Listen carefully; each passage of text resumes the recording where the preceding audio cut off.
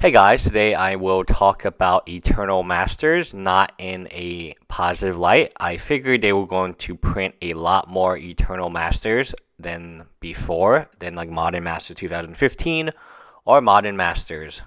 They are not. They are printing less. And it is a, a shame because essentially these vendors are going to make their money.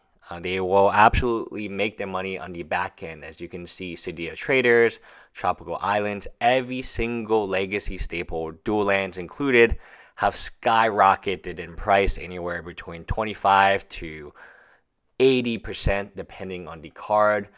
All the dual lands have gone up about 30 to 40%.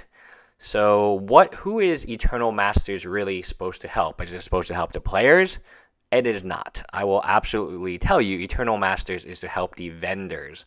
The vendors, I mean, take a look at this. Lion's Eye Diamond up another 46.7%. And this is only over a week. And we haven't seen the worst of it yet. Uh, Mox Diamond, I mean, look at the charts. It's just like stable, stable, stable. And then after Eternal Masters is announced, spike. And who's making most of the money from the spike? It is vendors. It is people who knew this was coming very sad, very sad because no one. This is not gonna. Eternal Masters is. I will openly state will not help anyone get to play Legacy. Yeah, you have Force of Wills. That's awesome. But hey, what about the tropical islands you need to play the in the deck? What about the underground seas? Guess what? The small money that you would save from Force of Will being reprinted as a mythic is nothing compared to the money you just lost because the dual lands have increased in price. So Legacy, eh, I, this Eternal Masters is not to help Legacy. Wizard of Coast is a publicly traded. Wizard of Coast is part of Hasbro, which is a publicly traded company, and the only thing they really should care about, and the only thing their corporate documents tells them to care about, is the shareholders, the investors, and Eternal Masters.